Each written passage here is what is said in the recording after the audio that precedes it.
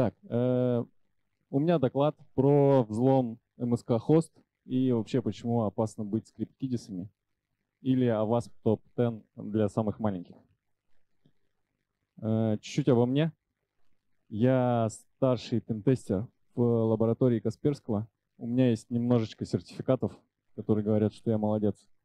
Вот. А еще иногда я люблю сохранять всякие странные файлы и иногда их анализировать. Да, что еще хотел сказать, что в Каспере не только антивирус и всякая скучная штука, но там есть еще пентестеры, веберы и вообще мы иногда занимаемся очень интересными штуками. Вот. Так, чуть-чуть агенды. Будет предыстория, потом что такое AWASP, потом мы поможем Доре или Даше, смотря какая у вас национальность, э, найти всяких плохих людей, и мы будем молодцами небольшой дисклеймер. Э, все то, что здесь будет показано, это все теоретическая часть. Э, ни одной кавычки в заказчика и в MSK хост отправлено не было. Мы только анализируем код. Вот. Просто чтобы вы знали. За последние пять лет количество взломов и различных утечек увеличилось вот здесь, как нам показывает инфомочь, э, по сравнению с 2021 в 2022 увеличилось в три раза, и это они еще не считали за 2023. Соответственно, никто не может быть в безопасности, даже злоумышленники. Вот. Э, они не предполагают, что если вдруг была взломана хоть какая-нибудь часть их инфраструктуры, скорее всего, э, вся их инфраструктура погорела, и все то, что было доступно только им, станет доступно общественности. Предыстория. Э, в сентябре 2021 года э, был взломан обузоустойчивый, э, обузоустойчивый хостер MSK Host. Самый быстрый, самый надежный. Вот, мы оставим это все на его честность. Вот. Но дело в том, что неназванные пентестеры из СНГ взломали этот хостинг, потому что там было слишком много всяких э, скамеров, э, э, фишинговых сайтов и всего такого. Они удалили оттуда все то, до чего могли добраться, и слили несколько э, хостинговых серверов. Таким образом, э, рано или поздно это дошло до меня и в мои руки. Вот. И я выкачал несколько архивов и потом их проанализировал и мы посмотрим э, все уязвимости из Аваспа на примере кода злоумышленников. Э, посмотрим, как от них можно защититься и как их можно эксплуатировать. Э, чуть-чуть про то, что такое Авасп. Авасп — это некоммерческая организация, которая анализирует различные уязвимости и старается выявить самые критические из них и построить из них топ-10. Мы с вами будем говорить сегодня про АВАСП 2021 года, потому что он самый последний. Ну и в целом, зачем говорить про старое, когда можно говорить про новое. А, как я уже говорил, будем ориентироваться на 2021 год, так что поможем Даше найти злоумышленников.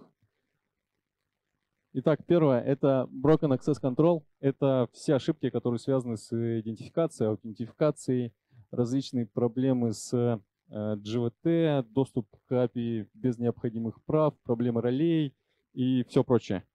Э, также сюда входит Pass Traversal, IDOR, Insecure Direct Object Reference, э, неправильный контроль доступа к endpoint и большое количество других уязвимостей. Посмотрим файл sendlog.php. Э, HT-аксесса для него нет, поэтому можем запросить его напрямую. Мы можем влиять здесь на переменную out. И по, потому что она берется из PHP инпута. Да, и можем пихать в эту переменную вообще все, что нам душе угодно.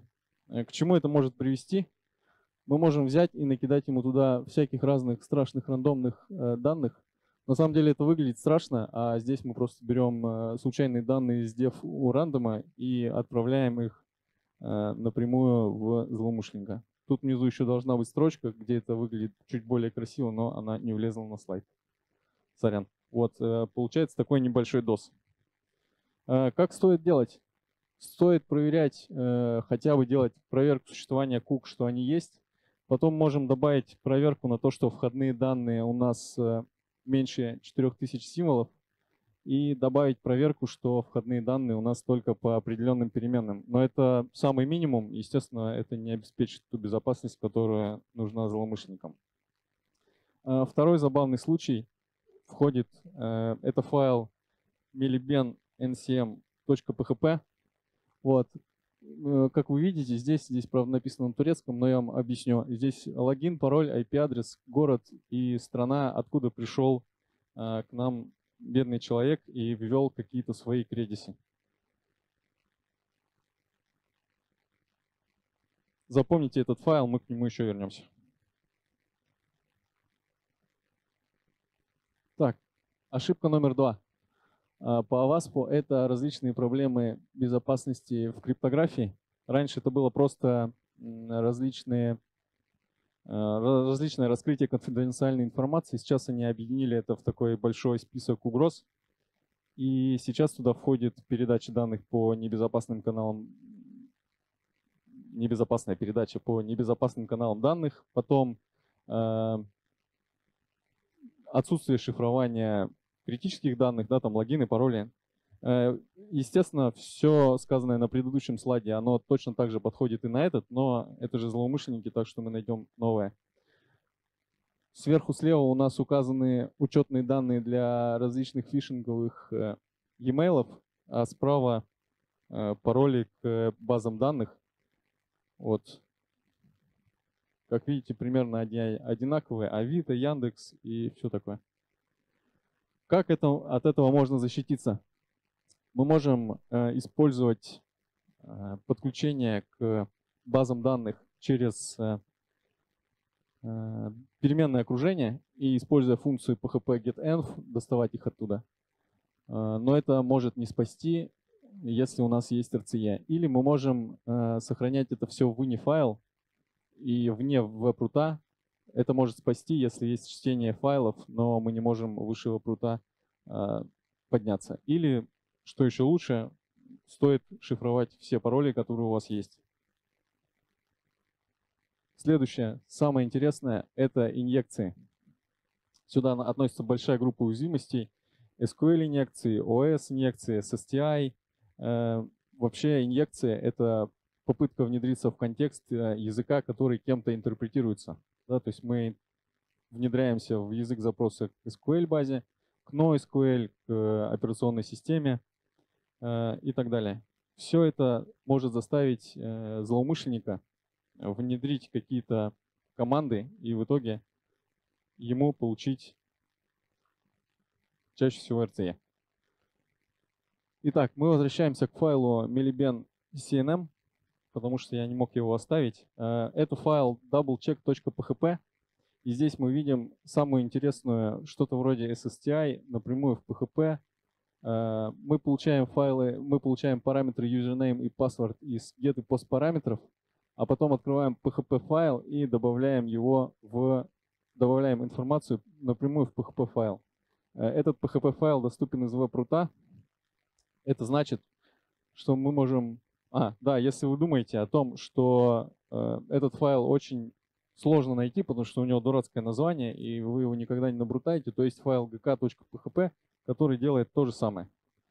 Каким образом это проэксплуатировать? В качестве логина или пароля можем переслать туда э, shell на PHP и потом следующим запросом напрямую выполнять команды операционной системы. Как от этого защититься? Ну, во-первых, мы можем использовать HTML Special Chars для кодирования символов, чтобы у нас э, PHP разбивался. Во-вторых, все-таки не сохранять ничего в PHP, а сохранять в TXT и желательно еще и в файле с уникальным названием и не в веб-руте. SQL-инъекции, если вы думали, что я их пропущу, то нет. Они, естественно, тоже там были, их было очень много.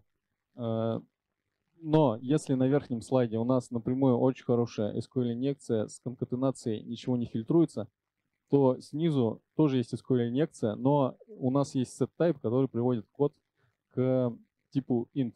Но при этом э, тут есть какой-то что-то вроде айдора через SQL-инъекцию, потому что, используя разные э, коды, мы можем разную информацию из баз данных вытаскивать.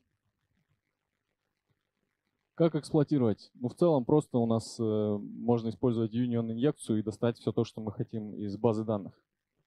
Э, как, как защищаться? Можно использовать либо ORM, либо Prepared Statement и никогда не конкатенировать ничего, что пришло от клиента. А4. Небезопасный дизайн. Это новая, новая угроза в AWASP, которая обозначает все те уязвимости, которые можно было исправить на этапе э, дизайна. Да, то есть все те уязвимости, которые разработчик мог подумать и не допустить, но допустил.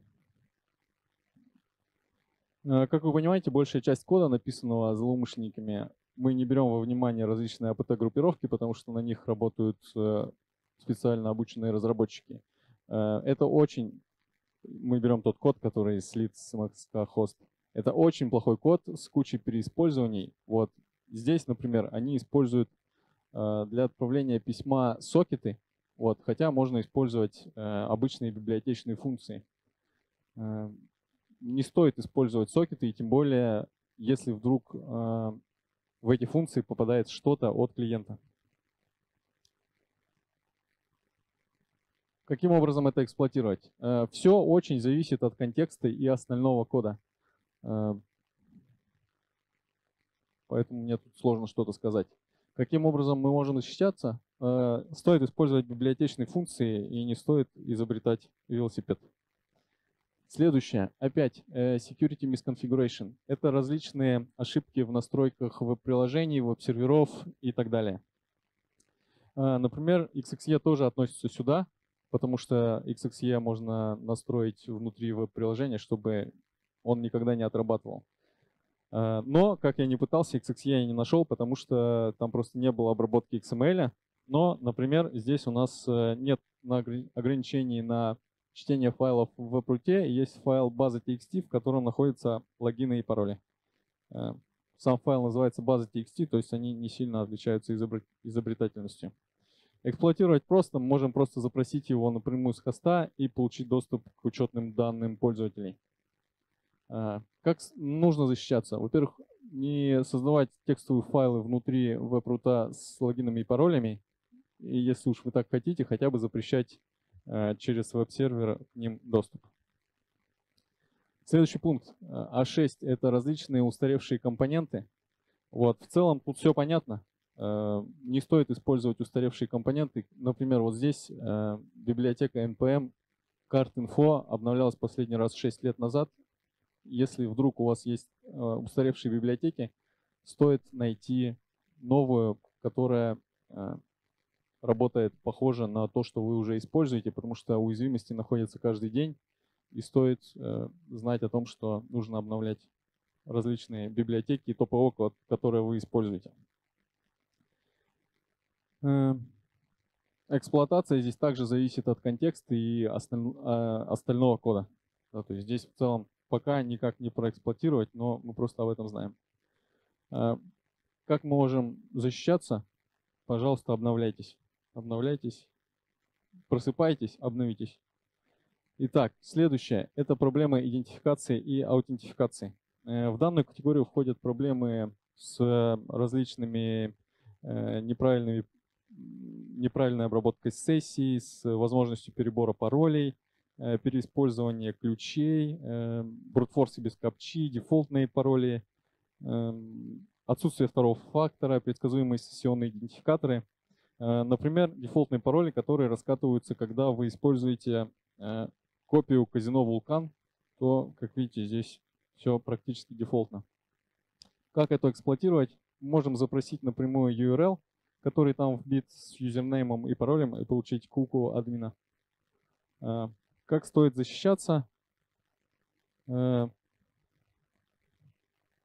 Не использовать деволтные пароли, применять многофакторку и реализовывать контроль доступа единообразно во всем веб-приложении, даже если вы злоумышленник. Восьмой пункт – это проблемы с э, целостностью и небезопасная десериализация.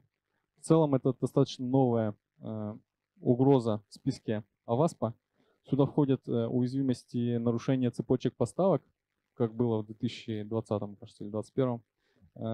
Различные проблемы в обновлении прошивок, когда в прошивку мы можем внедрить какой-нибудь код из-за того, что подпись не проверяется, и небезопасная десериализация.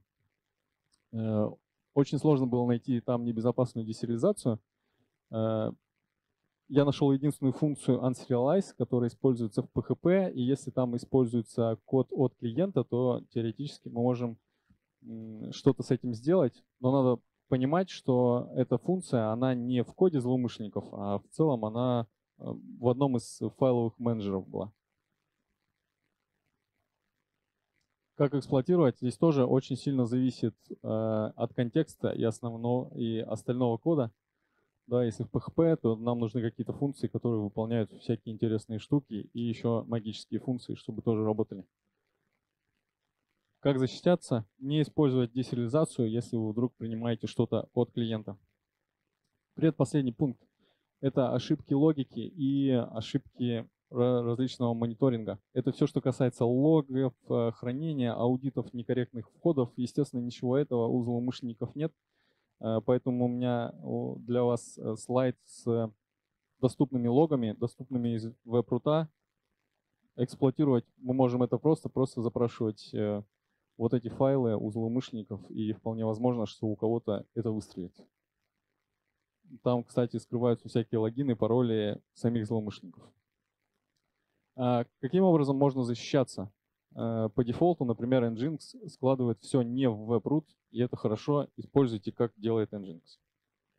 А, и последний, A10 — это уязвимость SSRF тоже было достаточно сложно найти, но я нашел одну функцию. Не знаю, зачем она злоумышленникам, но они зачем-то берут картинку из URL. Вот, и если вдруг э, в PHP настройках fopen открыт, то мы можем пихнуть туда какой-нибудь URL и э, сделать SSRF.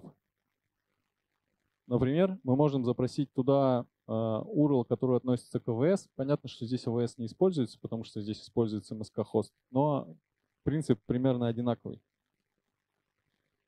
Эм, как защищаться? Э, стоит очищать, проверять все входные данные от клиента. В целом это для всех пунктов. Э, используйте схему URL-адреса в соответствии с белым списком разрешений и отключайте перенаправление. Выводы. В целом сам у вас не покрывает всех тех э, уязвимостей, которые есть у злоумышленников. Что-то из этого мы можем проверить в ходе работ, что-то нет. Да, например, э, мониторинг нормально проверить мы не сможем. Но при этом в этом докладе мы быстро пробежались по списку AWASP топ-10 по, из 2021 года. В самом коде уязвимостей намного больше, чем я привел. Э, этим мы занимаемся на работе. Э, мы взламываем системы, приложения, там различные сервисы, анализируем код, Э, в общем, в качестве защиты э, проверяйте API все входящие данные, обновляйте пакеты, не используйте э, плохое шифрование и будьте зайками, и тогда дяди в погонах за вами не придут. На этом мой доклад заканчивается. Мы остановили злоумышленников, мы молодцы, не будьте плохими, как злоумышленники. Спасибо.